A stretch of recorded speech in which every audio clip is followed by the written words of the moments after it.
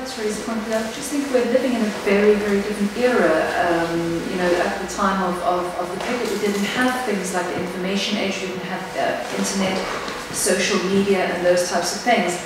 What would concern me is that today's youth is very much accustomed to actually just participating via one of those platforms, which is, although that is valid in its own way is not exactly the same as you know real live involvement you know, physically being there and participating which is a lot more real mm-hmm. um, I mean I come into contact with a lot of young people through my work I, I teach at the uni mm-hmm. as well and one of the things that I see is that you know they're kind of aware of the world but more sort of you know at their fingertips on whatever device they're using but really just getting in there and literally lending their voice, that's a different story. Mm. And how do we encourage them to do that when I feel, um, I don't want to generalize and say all young people are like this, that would be unfair, obviously, but I think quite a few of them would just say, well, where's the online petition I can sign? yeah. or, or, can I grab that? You know, is there a Twitter? That's what. That's how they live nowadays. Mm. But I think for me, with the the, the, the, the picket and, and other similar things, yeah. What made it so so special is not only the you know the actual 24 hours and, and, and the length of time that it went on, but that people were there. Yeah. They gave off their time, their energy, their physicality. You know, they were literally there on the streets, and that makes it in, incredibly meaningful. Mm. So how do we get young people to see how meaningful that is? Do you know about volunteering? Yes, of course. No, I mean, do you know about the, the volunteering rates in this country? Well, I don't have statistics to hand. Yeah. In this country, young people volunteer more than anyone else. Okay. Now, the hours, the, the volunteering rates, young people are most, the, the, the volunteering rates in this country, the people who, who commit the most to volunteering are young people and the old uh, people over the age of 65. Mm-hmm. The people who don't volunteer in this country are people between 55 and 70 because the baby boomer generation are the most selfish. Mm-hmm. And they're, they are also, curiously enough, the least politically engaged because that generation are Thatcher's generation. And part of the reason quite often when young people, people who do work with young people, when they ask them why they don't engage politically, is because that's the generation mm-hmm. who at the moment are, uh, are in power. Mm-hmm. And young people don't engage with, with, with, with, with politics and they don't engage with activism in a particular way because that generation have disenfranchised them.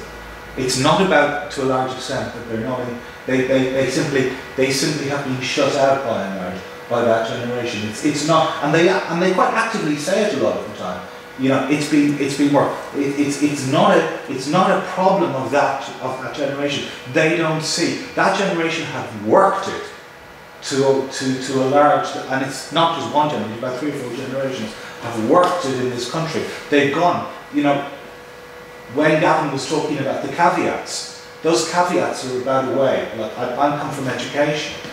And it's how that those generations have worked in that we need to make sure that the 13, 14 and 15 year olds can't protest because their power is so, is so, is so dangerous. The things they do are so dangerous, they must be stopped. And they worked it. They worked it so that those kids will be in school, those kids will not have be able to do anything. But it's all right for them to keep volunteering because they're really committed to that. They work harder than they ever have. They commit to doing so.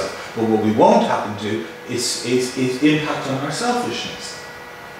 Uh, I'm really serious about that. I think there's an interesting there's an interesting connection with, with, with how you're framing that because actually I think there's, there's a, a, a number of clusters of, of, of people who got involved in the picket in 1986, 1987 as 16 or 17 year olds who went because their school allowed them a Wednesday afternoon to mm. participate in volunteering and the teachers were completely fine with them going and, and, and spending their Wednesday afternoons volunteering on, on the non-stop picket against apartheid. And, you know, the, the, the, the I- I- teachers at, Forest Hill School or Haverstock in I, I became politicised in Ireland because my nuns had all been liberation theologians.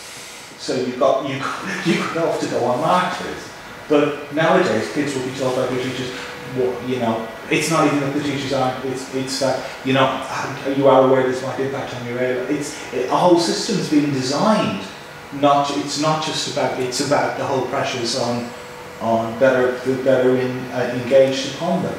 Uh, you know, you know, and you know the only the only if they have got time, they're told well you should be putting it into into volunteering because that volunteering will will help you towards your career prospects and will help you towards your life. Their their their free time has been has been managed in such a way that the energy that they the, the really precious energy that that they have will be taken away from from protests.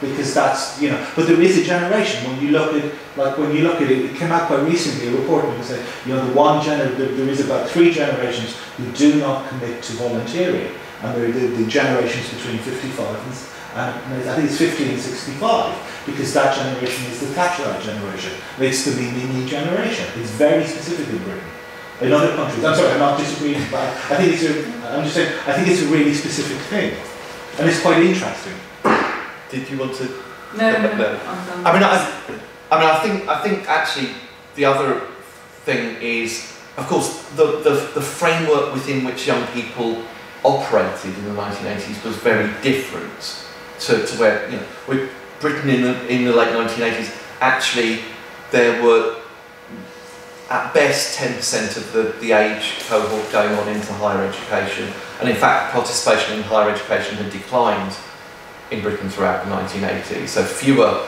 young people were going to higher education. It wasn't the norm for, for most for most middle class kids at least. Um, most young people still left school at 16 and went into employment. It may have been precarious, it may have been particularly low paid, but actually a lot of these young people were living, were in a position where they could live independently at 16, 17.